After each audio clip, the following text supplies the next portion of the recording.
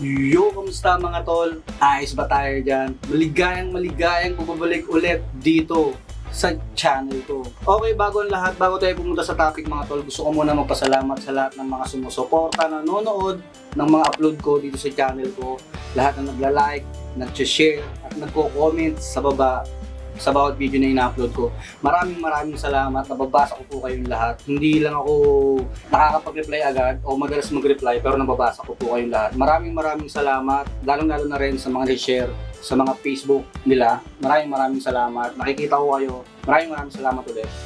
Okay, diretso tayo sa topic mga tol. Yun na nga ulit, nasa title na, nasa thumbnail na rin, nakita nyo na. Kaya nga, hinilik nyo tong video na to kasi nagkaroon kayo ng interest na malaman kung ano nga ba yung topic natin ngayon, kung ano yung share ko sa inyo ngayon. Okay, ito ay vinyl mga tol sa, sa t-shirt ha, yung HTV, yung heat transfer na vinyl. So, eto yun. Ang kaibahan lang, reflective to mga tol. Ang sabi sa akin ng Ana, reflective ang tawag dito. So, para siyang reflectorize, yung mga katulad ng sa mga sticker. Okay mga tol, explain ko lang ng konti ha.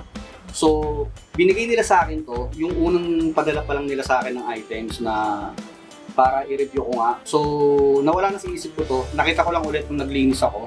So, yun, tinaray ko siyang gawa ng video, tatakan, kasi curious din ako. Wala rin ako siyang idea dito sa vinyl na to na reflective.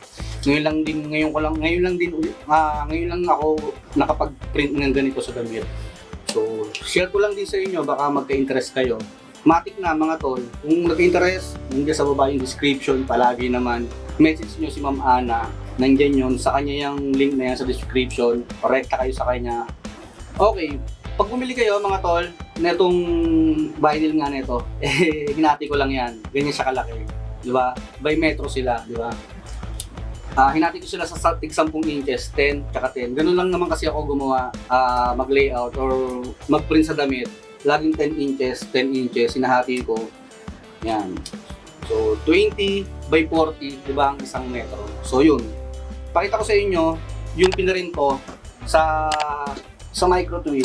Mamaya ang ipiprint natin sa t-shirt mga tol, yung kulay itim na t-shirt. So, eto, pakita ko muna sa inyo. Yan, para magka-idea kayo. So, yan yung reflective mga tol. Sa personal, uh, makikita nyo para siyang ano nga, yung reflectorized sticker na meron siyang parang rainbow. Yan, yan, yan siya. So, nag-testing ako sa puti para makita ko rin kung ano ba yung reflective nga. So, pakikita ko sa inyo mga tola kung ano yung sinasabi ko. Tapos mamaya, print natin sa damit na itim. Okay, alam nyo mga tol yung ano, pagka naiilawan kung ano, itong reflective na ito na vinyl. So, ganito yan. Oh. Inon ko yung ano, yung flash ko ng cellphone. So, pakita ko sa inyo kung ano nga yung reflective nga. Pag nasisikatan siya ng liwanag or nung ilaw, ng flash. Yan. Ganyan mangyayari sa kanya. Yan o, tol. No? Diba? Ito siya mga tol. Yung normal niya. Tapos, pagka nailawan siya, yan, ganyan siya. Nakita nyo naman mga tol, diba? Papatayin ko yung flash. Yan. Yan yung normal niya mga tol. Yan. On ko mga tol. Yan. So, yan yung reflective na vinyl mga tol. Yan. Diba? Off ko na mga tola. So, nagkaroon na kayo ng idea mga tola kung ano yung reflective ha, kasi hindi ko na masyadong patatechnicalin at papahabain yung explanation. So, sana natin. So, ginawa ko, nagkat ako, yan, sa kamilyo ko kinat to mga tola. So, hindi ko na rin pinakita kung paano ko siya kinat. Alam nyo naman na yon tsaka iba-iba naman tayo ng mga cutter platter na ginagamit. So, useless kung ipakikita ko rin kung paano ko siya kinat sa kamilyo. So, ganun lang din naman, yung normal, yung paano kayo nagkakat ng sticker sa cameo at ng vinyl sa cameo. So, ganun lang din. Diba? Naka-mirror. So, yun. Tapos, eto na mga tula. Eto lang naman yung mga tatandaan nyo eh. So, syempre, di ba, pag meron na kayong ganito, so, yung importante naman na dyan, yung settings ng heat press. So, ang settings ko dyan sa heat press ay 165 degrees Celsius mga tol. At yung timer ko is 10 to 15 seconds. Okay? Okay mga tula, uh, step by step to ha. Panoorin nyo na lang ha mga tula.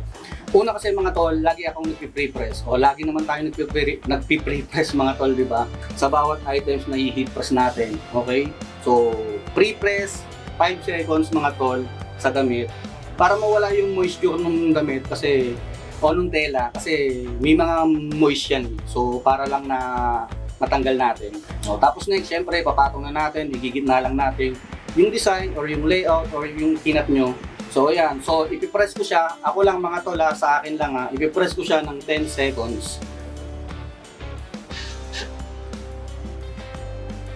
O, tapos mga tol, habang mainit mga tol ha, suggestion ko ha, ah, suggest ko lang ha, hanggang mainit, tuklapin nyo na mga tol kasi ano siya eh, para siyang madikit. Ah, parang ano siya eh, hindi ko ma-explain pero parang madikit siya pag tinatanggal. So baka ma ma-disalign, di ba? So hangga't mainit, tanggalin nyo na ng dahan-dahan mga tol. So sa akin lang yan mga tol, obserbasyon ko lang. So yun. So pagtapos nyo tanggalin, ang next na ay yung final press. So kayo, bahala kayo kung gusto nyo yung final press nyo ay 5 seconds lang. So ako, 10 seconds pa rin ako yung final press ko. Sa akin lang yun ulit mga tula. Kayo, discardin nyo na yan. So, ayun mga tol, oh. ito na yung na-press natin, di ba? Yan siya. oh. Na may parang mga rainbow effect na ganyan. Uh, reflector rays nga. So, testing natin ulit mga tol ha. Gamitan ulit natin ng flash na gamit nitong sa cellphone. Oh, okay. So, ayan mga tol ha. Ganyan siya. Tapos, gamit tayo ng flash. Flash natin. O yan. So, ayan na siya mga tol. Yan. Diba? Ayusin ko lang. Yan. Ayusin. Yan mga tol. O. Diba? Off ko ulit. Off. On. O. Diba? Galing mga tol, no?